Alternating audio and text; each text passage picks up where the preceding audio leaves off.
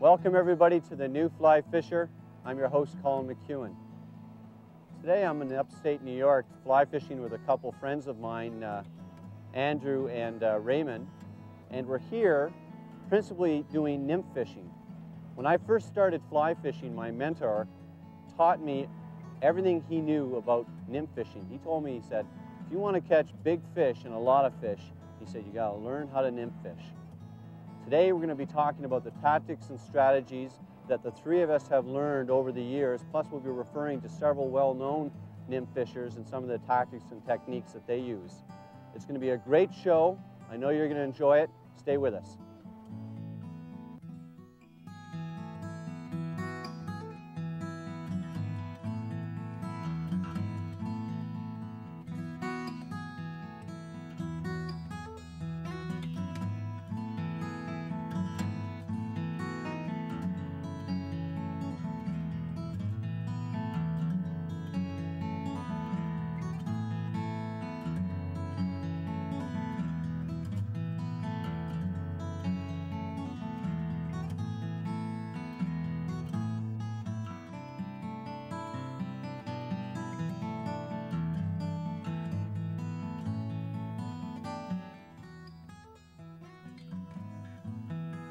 Is a beautiful September day and conditions are ideal for nymphing. Today we are fishing on some of the beautiful rivers of upstate New York. Specifically, we are on some of the systems in the eastern Adirondacks. These rivers generally have good public access and support healthy levels of trout. Raymond Sander Regier is a respected artist specializing in prints of outdoor scenes.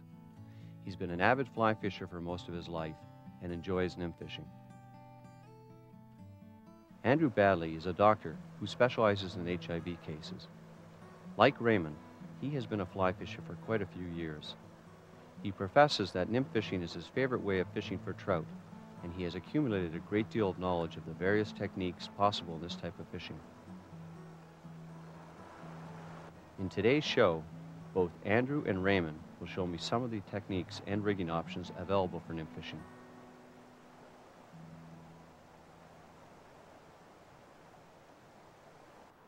I'm standing here at the bottom end of a pool, kind of in a tail-out section.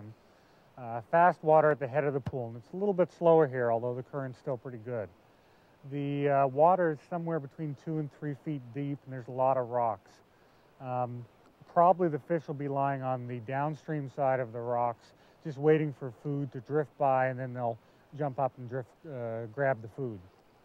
The rig I'm using right now is two flies in tandem. Uh, the lead fly is a weighted fly. It's a size 12 gold rib hare's ear with a tungsten bead head. And about uh, 12 to 18 inches below that, I have about a size 8 or a size 10 stonefly. As we saw earlier, there's a lot of stoneflies in this river, and they're about the size 8 to 10 range and, and mostly black. I have a strike indicator on, a floating uh, pinch-on strike indicator, and I have that about four feet above my, my downstream fly. And the reason I chose four feet is it's about twice the depth of the water, and hopefully that'll allow it to go down to the bottom of the water. Uh, my goal for fishing it is to, to fish the bottom, which is where the fish are probably lying, um, and try to get a natural drift of the fly um, coming down the river to make it look like a fly just drifting downstream. My main aim as I'm, I'm fishing this is to try to maintain a drag-free drift all the way downstream. Uh, the moment I have any drag put into the line, it makes the, the fly's float look unnatural. That having said, I just had a hit. Um, so I want to be a drag-free drift. As a, I try to mend the line as I'm going downstream to promote that drag-free drift. And, uh, and as I'm doing that, the, the main thing is to try to keep the flies as close to the bottom as possible.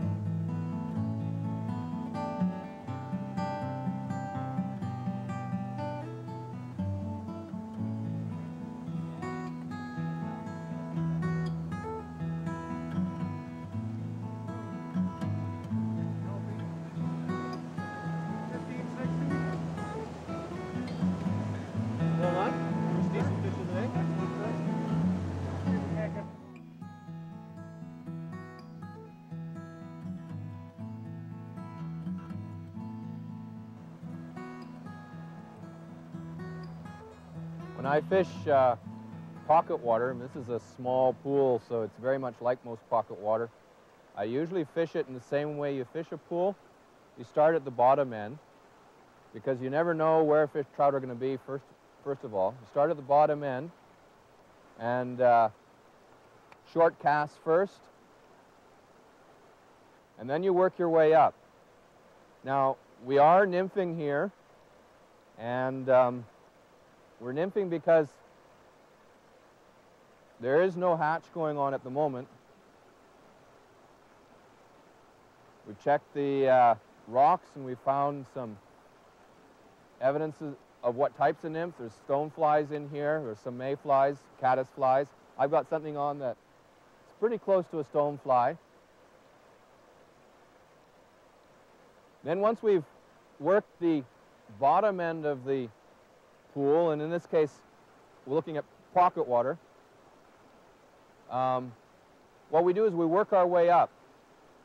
And in every situation where you have water flowing in, fast water flowing into a, a little hole, you've got seams that form. The seams form right on the edge of the fast water and the slow water.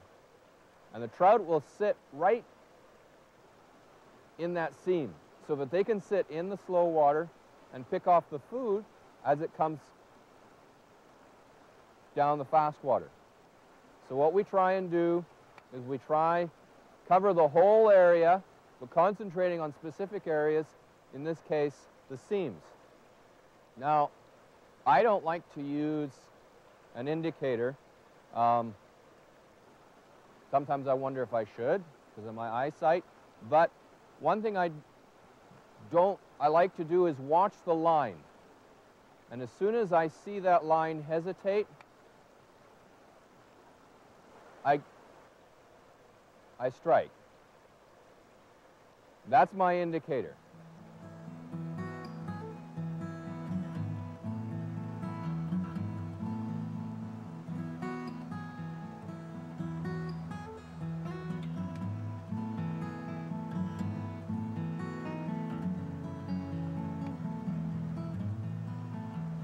Now I'm going to fish the slower run on the right-hand side of this stretch, stretch of river. Um, on the far side, on the bank side, on my right, there's a slow rip and there's a little shelf uh, underneath that rock, which would be a prime place. If I was a fish, I'd want to hide in that because the water's moving there, it's nicely aerated, and food should be carried into it. Between me and there, there's this faster section of moving water, and if my fly line gets in there, it's going to drag my fly at a rate that's faster than the water on the right-hand side. So needless to say, I don't want to do that. I want it to drift at the natural speed of the current over there. So the approaches I can do is wade over there, but then I'll ruin this water here, or cast above it and try to hold my fly line in the slower moving water so I don't get the drag. So we'll try that out.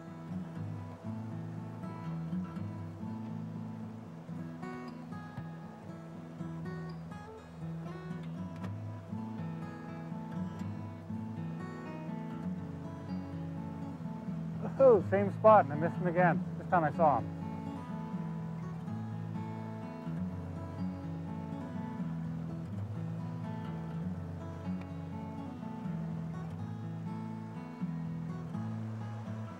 Like I said.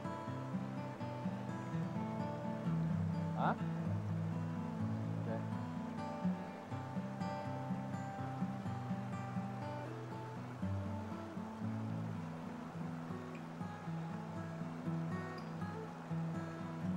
Through the pool with the new nymph.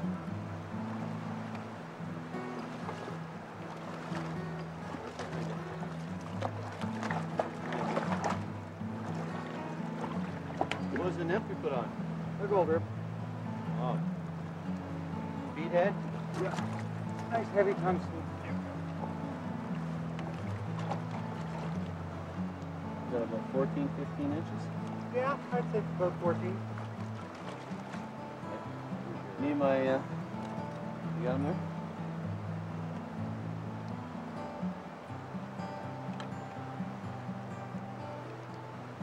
Oh, look at that. Isn't that gorgeous? Pretty colors.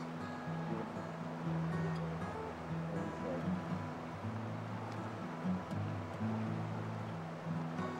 Well done, sir. Nice fish. All right. Okay, let's get some more here.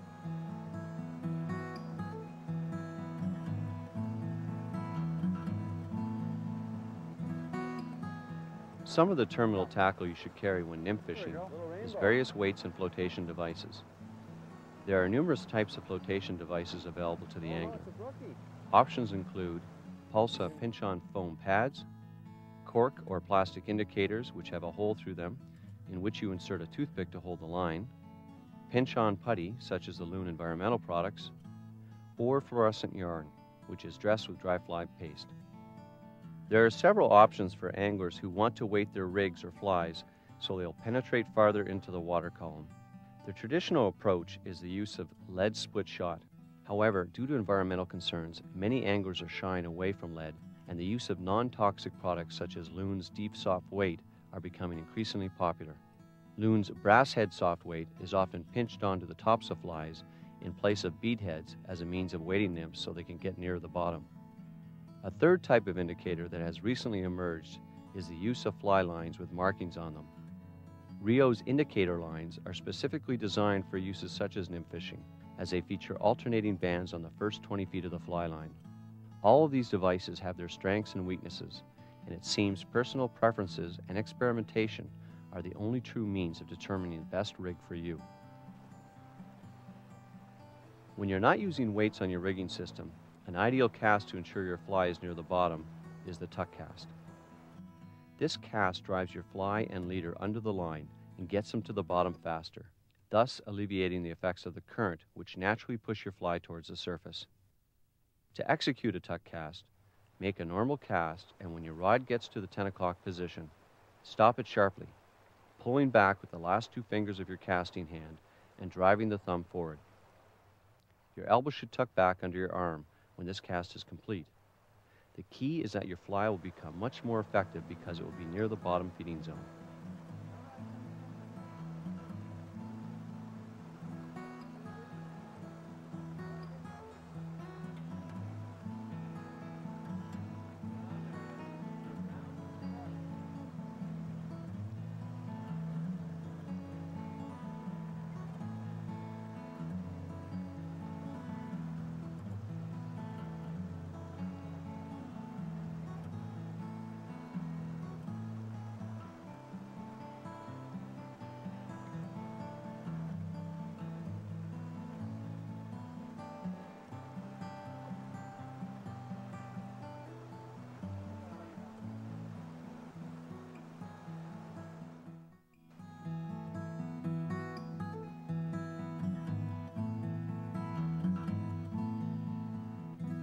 We found numerous nymph types when checking under stones. Though it is nice to know the type, pragmatically it is not usually necessary. Simply match the size, color, and most importantly, silhouette of the nymphs you are finding. As you progress with your entomological skills, you will better understand and identify the various nymph types in your local systems. There are several books I would recommend to viewers which provide excellent details on entomology and nymphing. Prospecting for Trout is an excellent all round book written by Tom Rosenbauer, which provides anglers with in-depth information on nymphing strategies and rigging. Hatches 2 is a complete and thorough guide to insect hatches throughout North America and will greatly assist fly fishers in understanding the insect life in their local rivers and lakes. Art Flick's Streamside Guide is a valuable asset to identifying insects and their imitations, and most anglers will find the book size perfect for taking on the water. This area here, there's a, an edge of rocks, and just over the edge looks like a nice deep hole. And there has to be fish lying in there, but as I said, I haven't been successful in getting them yet. So what I've changed to is a, a pretty heavily weighted system. Right now I'm fishing with, at the end of my leader, I have a small piece of lead split shot, and then about two feet down from that, I have a weighted fly again. This one's a flashback olive beadhead um, hare's ear pattern. And this technique is essentially a high sticking technique. And the idea is that the lead split shot will go to the bottom first because that's the heaviest, and behind it will be drifting the, the weighted nymph. Again, it's a high sticking technique and try to drop the fly and the weight right where you think the fish are, slightly above it, and just drift it down over their head, feeling for any slight resistance in the fly. You're going to feel resistance because hopefully it's on the bottom and bouncing off rocks. So every time you do feel that resistance, just give it a little tug or a little flick, and quite quickly you'll, you'll learn to distinguish the bounce of a rock from the take of a fish. I'm feeling the bounce of the rock now, and unfortunately no takes of fish just yet.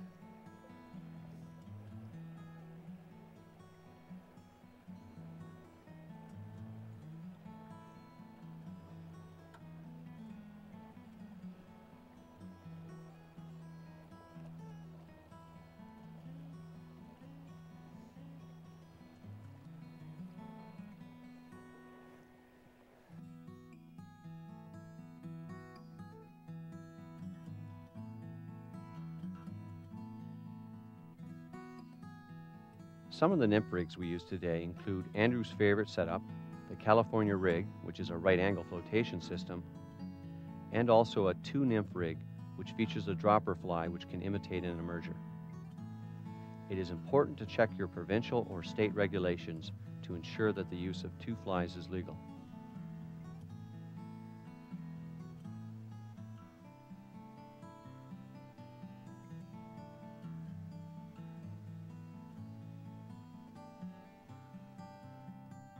The rods we use today include a Thomas & Thomas Horizon, a Winston LT, and I used a Diamondback Aeroflex.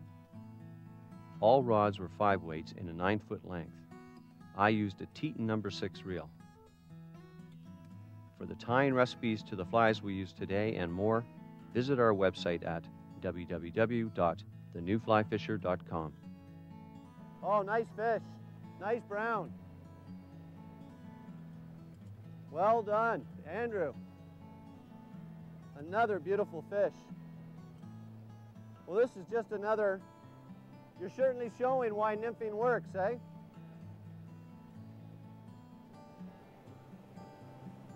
Oh, now let's see if I can get over here without drowning. Just wet the net here. Yeah, when you're ready. Where is he? Here, I'll put on my glasses. See him better. Can you bring him upstream? Or has he gone down? I'll come over to you. There we go. Oh, nice fish. Beautiful fish. Let's get him in the water here. Oh. Just bring him over here. Okay. Well done. Thank you, sir. Okay. You got your uh, hemostats? This out. That's a nice fish. Oh, look, he's let's slashing them. Look at that. I wonder what that caused that. Bigger brother. Somebody took a whack at him. Okay, let's get this guy ready. Oh, look at that. That's a nice fish. Okay, let's. There he goes. Again, well done. Excellent, sir. That was great. That's, this is why I like nymph fishing. You not only catch a lot more fish a lot of times, but you catch the, some of the biggest fish. Some of the biggest fish. You know, it's just like streamer fishing. Well, that was another great brown trout. And as you can see, nymph fishing is extremely effective. It's a great way of catching trout as well as other species.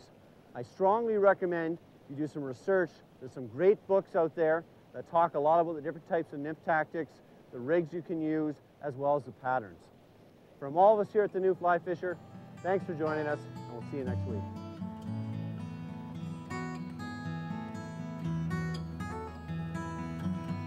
The new Fly Fisher is sponsored by Bank of Montreal Atlantic Salmon Federation MasterCard, Ducks Unlimited, Canada's conservation company, Teton Fly Reels, Hodgman Outdoor Products.